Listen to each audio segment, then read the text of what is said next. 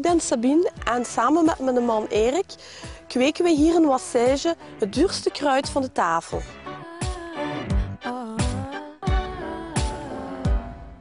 Het duurste kruid is safraan en dat komt eigenlijk van een krokusplant. Maar niet de gewone krokus die bij jullie thuis allemaal in de tuin in het voorjaar bloeit, maar een omgekeerde vegetatie die in het najaar bloeit. Hier staan ongeveer een 120.000 crocus sativus.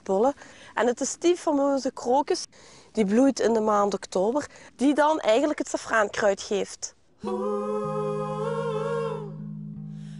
De bloeiperiode ja, dat duurt ongeveer van vier tot zes weken. De bloemen komen uit en worden dagelijks geplukt. Dus je moet weten, een bloem leeft niet langer dan 24 tot 48 uur. Eén keer als ze geplukt is, binnen de 24 uur moet ze verwerkt worden. Want anders is ze gewoon weg aan het verwelken op uw tafel.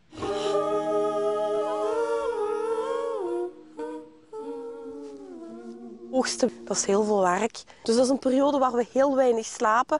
Maar eigenlijk is dat een, hele grote voldoening voor ons. Omdat ja, het is maar één oogst van bloemen. één oogst van safraan per jaar. Waar we eigenlijk het hele jaar mee moeten rondkomen. Ja, dan moet u weten, die eerste bloem, die is niet voor mij voor te plukken. Hè. Want er is een legende bij alle safraantelers. Hè.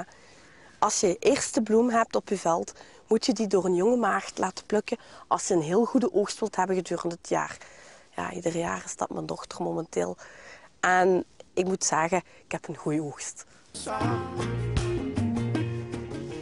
ga een goede duw geven. Voilà, daar komt hem aan.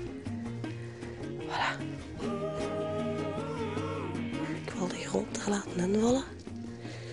Daar, moezie. Voilà, daar ziet u dan de wortelen, de knol, twee hoofdscheuten uitgekomen met al twee bloemen.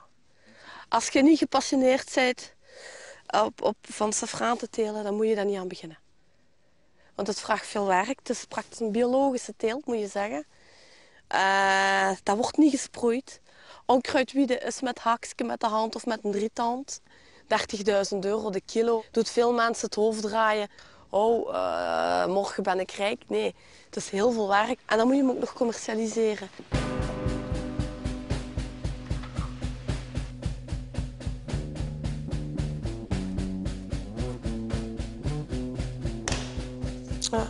Dan hebben we die safraanbloem. In het algemeen hebben die zes bloemluidjes. Die heeft drie gele meeldraden. En één rode stamper. Kijk, als je het eruit haalt, je ziet dat het ene is. Maar wat is safraan? Ja, safraan is enkel het rode gedeelte, dus rode draden.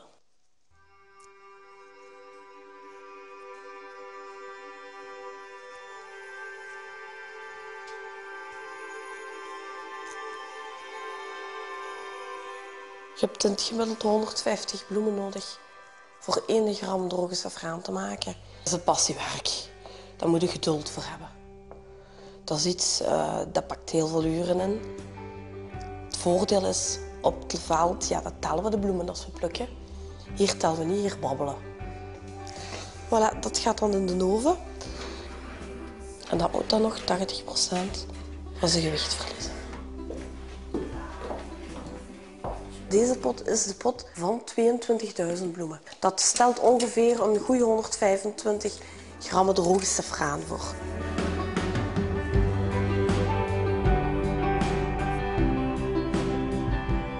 Eigens, dat het rode goud.